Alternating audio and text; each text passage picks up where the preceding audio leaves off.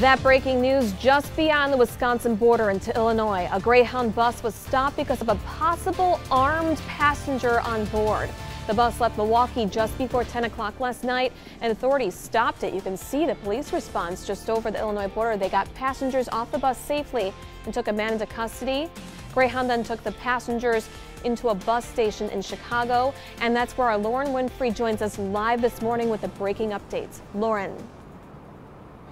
Yeah, Julia, that unsettling bus ride ended right here in Chicago, but the yells and screams of a man who allegedly was threatening to kill other passengers were heard miles away in Wisconsin. Now, let's take you straight to that video, which shows some of the action. Now, according to a Greyhound spokesperson, there were about 50 people on that bus en route from Milwaukee to Chicago, and they were traveling down I-94, and the first calls to police were made just before 10 last night. Now, the police pursuit involving this Greyhound bus started in Wisconsin as police responded to a reported armed person on the bus. Passengers say it almost felt like a terrorist situation, and they were scared.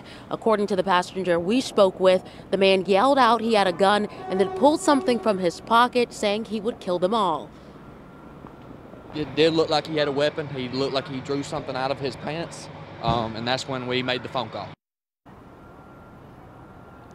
Now, passengers are also saying that uh, police made more than one attempt to stop the bus, but the driver didn't stop initially. That is something we are looking into with Greyhound, but police are still investigating this entire incident. Reporting live in Chicago, Lauren Winfrey, today's TMJ4.